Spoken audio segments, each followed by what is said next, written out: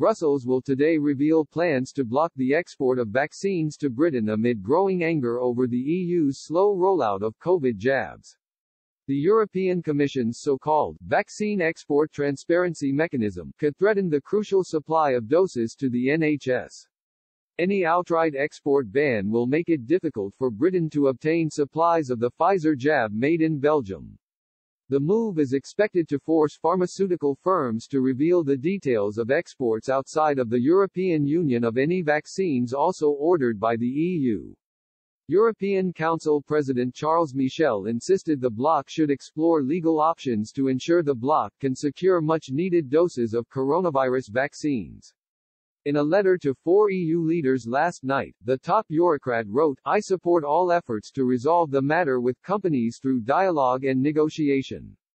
However, if no satisfactory solution can be found, I believe we should explore all options and make use of all legal means and enforcement measures at our disposal under the treaties. He added, this would give the EU and member states the legal means, by adopting appropriate urgent measures, to ensure effective vaccine production and supply for our population.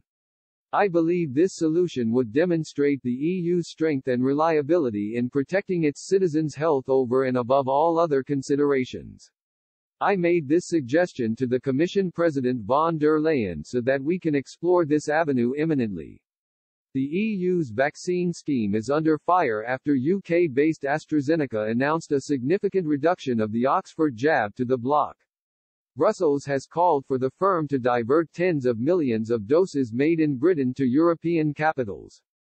Belgian health officials yesterday carried out an EU-backed inspection of a plant which helps produce the Oxford vaccine for AstraZeneca. A low batch yield from the facility, run by Novasep, near Brussels, has been blamed AstraZeneca's failure to meet an EU advanced purchase order of 100 million doses by the end of March.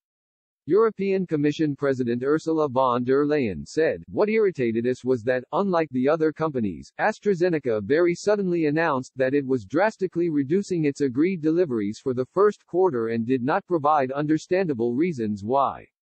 Now we want clarity on that. The Brussels boss has called on AstraZeneca to make its contract with the EU public after the bitter dispute over vaccine delays.